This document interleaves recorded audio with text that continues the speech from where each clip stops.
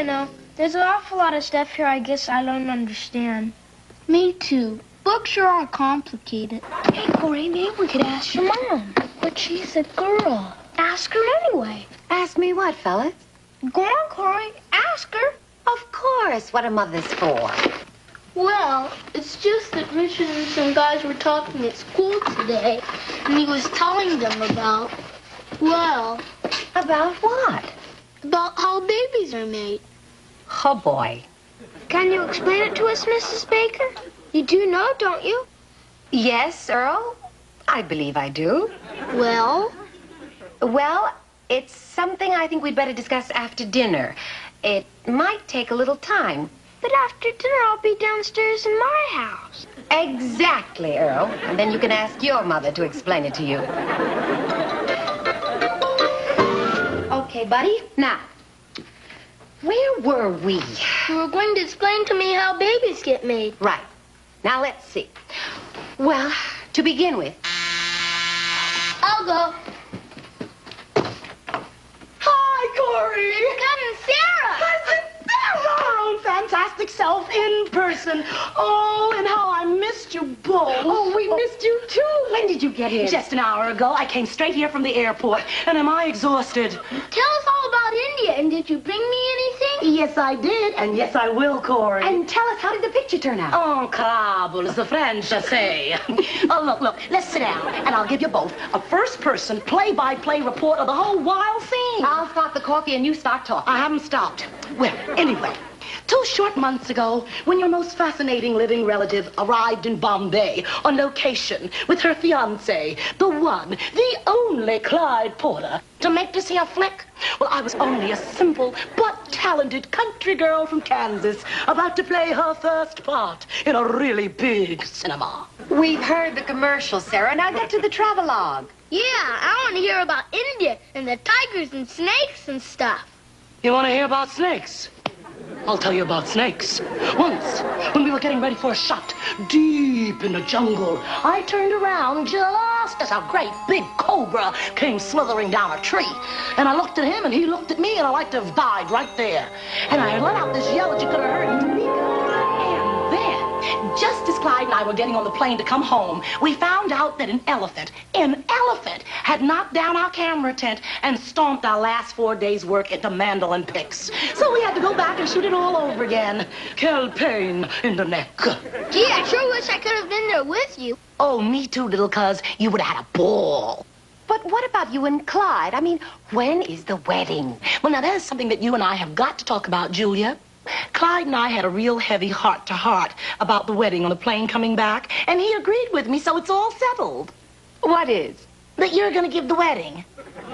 Me? Well, what on earth have I got to do with... Mom, What is it, Corey? if you and Cousin Sarah are going to talk about gushy stuff like weddings, I think I'll go do my homework. I wish you would, because Cousin Sarah and I seem to have a lot of gushy stuff we have to straighten out between ourselves. Uh, see you later, little cuz. Me too. And I'm really glad you're back, Cousin Sarah. And don't forget my present. He's quite a fellow, that son of yours. Never mind, Corey, just now. Let's get back to how I suddenly got in the middle of your marriage to Clyde Porter. Well, it's simple, Julia. Isn't it customary for the bride's family to give the wedding? Well, yes, And you and Corey are all the family I have, at least in California. So, who else is there? But, Sarah, this wedding is going to be a big thing. I mean, Clyde Porter's a rich, famous, important man. He can't get married like just, well, like just anybody. But that's the whole point, don't you see, cuz? It's just because he is Clyde Porter that you just got to do this for me. I mean, I just can't go to him like some some orphan or something. After all, I've got my pride. And if I'm gonna be his wife, we just gotta get married properly. Oh, Julia, when you and Walt got married, it was done right, wasn't it? Well, yes. And isn't that memory something very important to you now? It certainly is. Well, then say you'll help me now, dearest cuz. I don't seem to have much choice, do I, Sarah? Oh, Julia. Julia, I can't tell you how happy you made me. Sarah, Sarah, Sarah, I hate to intrude on the sentimentality of all this, but I really have a very important question to ask you. How are we supposed to pay for this wedding? Oh, that's no problem. Clyde's gonna lend me whatever we need. he's going to lend you the money? Sure. Then after we're married, I'll pay him back out of the allowance he's going to give me. Just a moment.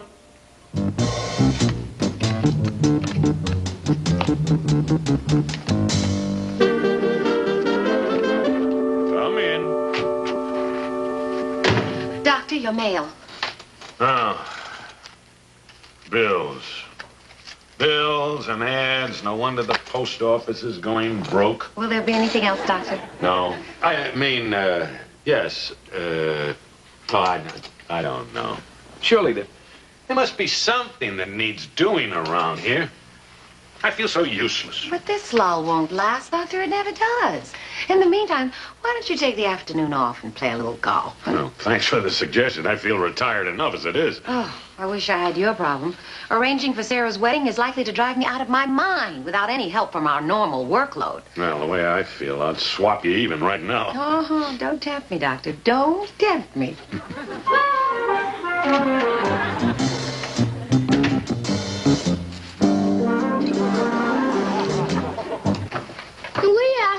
something? Anything, buddy. What's on your mind? Can you tell us how babies get made? Oh, brother. You do know, don't you? Of course I do. I'm not a kid. Then tell us about it. Well, I can, but I think it's something you better ask your mothers about. Why? Well, I'm afraid you better ask them about that, too. About what? About why I can't tell you about why I can't tell you how. About your first question. Huh? Come on now, fellas. Let's break this up. I've got a lot of work to do. Oh, gee. Hey, I got an idea. Let's go downstairs and wait for my dad to come home. Maybe we can get him to tell us. You want to bet? Anything happened while I was gone? Mm, I had one small splitter. You had 11 phone calls. Here. One florist, two caterers, a bakery, a printer, and four gossip columnists. Oh, dear. How did they all find out so quickly that I'm arranging the wedding? Oh, and there were two urgent calls from some clown named Sam Stone. That's Clyde Porter's personal manager. The man is hypertense, if you ask me. Dr. Chegley, are you so desperate for patients that you are now making diagnoses by telephone? Hmm. Thank you, Miss Dannery. Good night.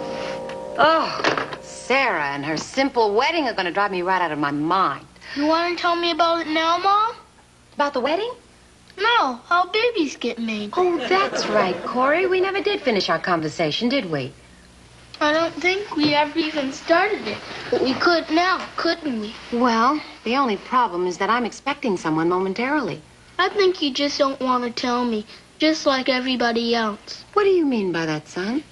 Roberta told me to ask you, and Earl J. Waggedorn's dad said he had to talk to Earl J. Waggedorn's mom first.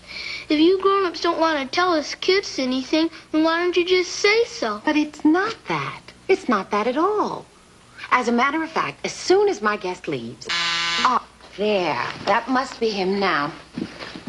Then I guess I'll just go ahead and do my homework again. And I promise I won't forget about it later.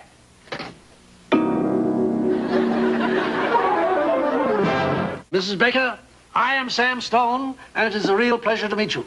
May we come in? Of course you may. I must confess I wasn't expecting a delegation. Allow me to present Mel Sharp, Clyde Porter's business manager. How do you do? How do you do? Gus Anderson, Clyde's lawyer. How do you do? How do you do? Danny Wilson is press agent. Oh, how do you do? Baker?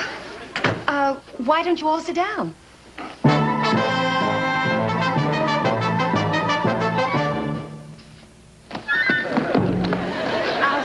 Coffee. Maybe we should get right to the problem, Sam. Problem?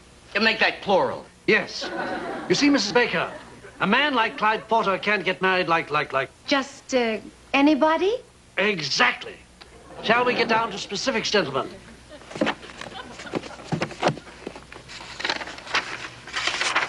Now, to begin with, Mrs. Baker. Don't forget the tax problem, Sam. I won't, Mel. Just relax. Conant's never relaxed. You see, Mrs. Baker, for a man in Clyde Porter's position, there are many factors to be taken into consideration. Professional commitments, publicity coverage, guest lists, selection of site for a honeymoon, entertainment of guests at a reception, to say nothing of Tax problems. Sarah said that she and Clyde would like to have a very simple ceremony. My dear Mrs. Baker, that is exactly why we are here. To make things simple. Right, gentlemen? Right. As simple as the tax problems will allow. Yes. Now, what size reception did you have in mind? I don't know. I thought uh, the immediate family and perhaps a few close friends. A few close friends. My dear Mrs. Baker, not counting the press, Oh, Clyde is very big with the press. He's very popular. numero uno. And aside from the press, Clyde Porter has at least four or five hundred close friends Four or five hundred. who absolutely must be present at the ceremony. Without counting the press. Or considering his tax problem. Right. Now, the way we have this worked out, Mrs. Baker, I think the first thing to do is set the date. After that, we can proceed to concretize all the divergent elements we've mentioned into one coordinated. We cover all the bases, as they say. The wedding should come off with the minimum of difficulty for all concerned. Well, I wouldn't want to bet on it. Well, I think that's enough for the first meeting. You have your work cut out for you, I'll say that. I'd say that too. And don't forget to keep in touch. Let's all of us keep in touch, right? Right. After all, that's what we're around for. Shall we, gentlemen? Good night, Mrs. Baker. Oh, good night. Mrs. Baker. Good night. Bye, Mrs. Baker. Oh, good night. Thank you very much. I so thank you. Very oh, nice I pleasure, enjoyed it. It was. Thank you very much. I, it was a wonderful. Is it okay now, Mom? Is what okay? You said you'd tell me all about it after those men left. That's right, I did. All right, come over here. Let's sit down. We'll take a whack at it. Now, let's see. To begin with, Corey, you understand there are two sexes, male and female. They're like boys and girls, only older. Right. Now, the next part is a little more complicated. You see, oh, who on earth could that be? Let's don't go see. Let's do. Hi, little cuz. It's Cousin Sarah again. Julia, I've got to talk to you. I've got to talk to you too, Sarah. I guess I'll go do some more homework. Sarah, I just finished a session with your fiance's entourage that I still don't believe. Do you have any idea what this simple wedding of yours is going to involve? Don't trouble yourself about it, Julia. There isn't going to be any wedding. Oh, good. What do you mean, good? Well, nothing. Just tell me what happened. Well, it's all because of this picture that Clyde and I made in India. I only had a small part, of course, Julia, but what a part it was. Oh, there was this one scene where I'm dying of fever after this big flood, and Clyde is going to try and find a doctor, and I'm lying in this hut delirious, and I keep reliving our entire relationship. Lionel, Lionel, Lionel, where are you? I can see the lights on the water, and I hear the music playing, but I can't find you, Lionel. Lionel. Oh, Lionel. Mrs. Sarah, that's all terribly moving. But what does that have to do with why there isn't going to be any wedding? Well, that's what I've been trying to tell you, Julia. This afternoon, Clyde confessed to me. Confessed what? He's cutting that scene out of the picture. For goodness, is that why the marriage is off? Oh, well, you're not in the theater. You wouldn't understand. I mean, how could I marry a man who could do something like that to me and still keep my self-respect? And that's exactly what I told him when I gave him back his ring. You didn't. You don't agree with me? I Agree with you? I think you're out of your mind. But, but, but nothing, Sarah. I certainly don't know anything about the theater, and I don't know what reasons Clyde had for cutting your scenes. But I do know this. I know that he's a good man and that he loves you. Oh, you. You think so? Sarah, when you let what must have been a purely professional judgment affect your personal relationship with Clyde, then you demean yourself as well as that relationship. Oh, gee. Well, well, I guess I did overreact. Just a touch. Just a touch. Oh, and the things I said to him. Oh, Julia, what am I going to do? What can I say to him now? Well, you'll think of something if you really want to. I wouldn't even know how to start. Oh, gee, cuz, could you talk to him for me? Not a chance. I'll handle the wedding, but you have to take care of the marriage yourself. But I'd mess it up. I know I would. No, you won't. Now, just listen to me, and between us, we'll work it out right now. I'll listen. I'll listen. See? I'm listening. That's right, Mrs. Stone. As of 2 a.m. this morning, the wedding was officially back on. Right. No, I haven't decided on the reception menu yet. I am still working on the guest list, Mrs. Stone. I promise, I promise I will keep you advised. Mm-hmm. About everything. Yes, that's right, Mr. Stone. Thank you. Goodbye. Oh, hi, Mrs. Baker. Hi, Roberta. I'm just finishing up. Where is Corey? He and Earl are in his room. Been mighty quiet all afternoon.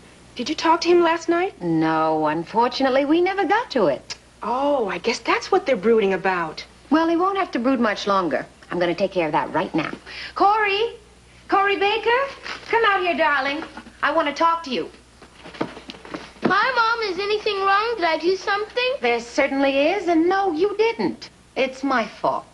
Last night, you and I started. Oh, no. Now what? Hi.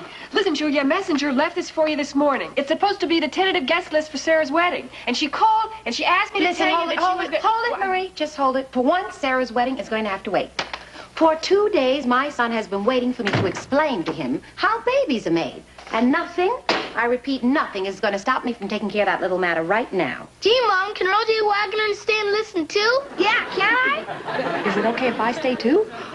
Marie Waggedorn, you already have two children. What could I possibly tell you that you don't already know? That's what I want to find out. Me too.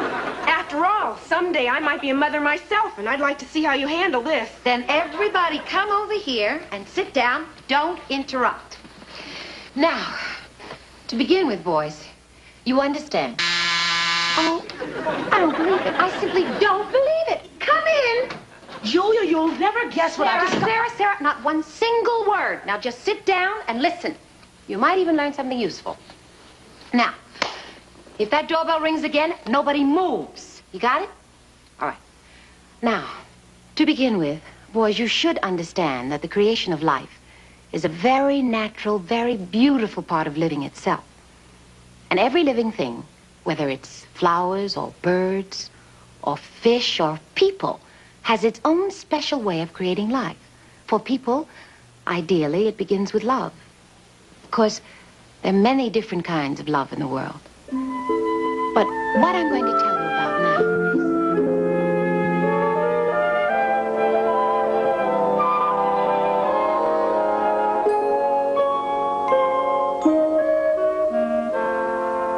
really all there is to it, fellas.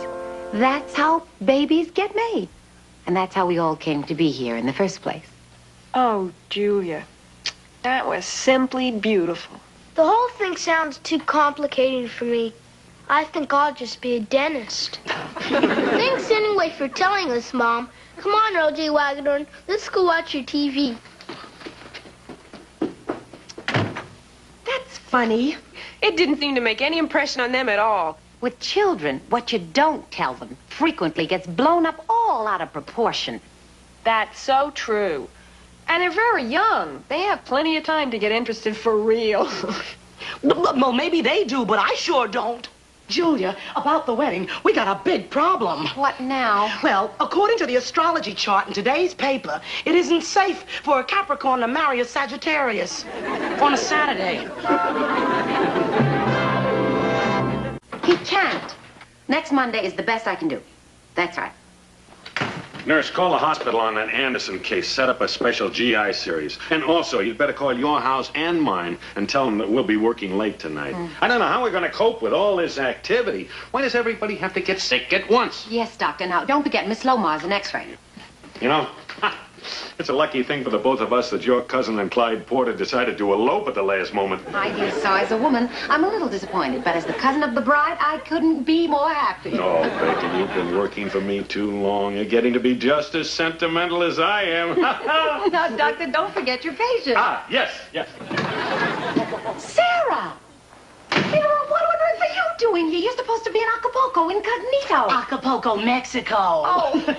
Clyde and I are leaving in an hour, but I just had to see you first to tell you how unbelievably happy I am. Oh, Sarah, that's wonderful. Well, there's just one little thing, though. Oh? Well, after the ceremony in Las Vegas yesterday, Clyde and I got to talking, and the poor dear, he feels terribly guilty about the fact that we didn't have a proper wedding, so... Oh, no. So while we're on our honeymoon, Clyde and I would like you to get everything arranged so that when we get back, we can get married all over again, just as we originally planned. Now, isn't that a beautiful idea? It's beautiful. It's beautiful. Now, the way I see it, cuz, you just absolutely got to make this the wedding of the century because by the time. Hey, say, listen, do you think maybe we could get it televised?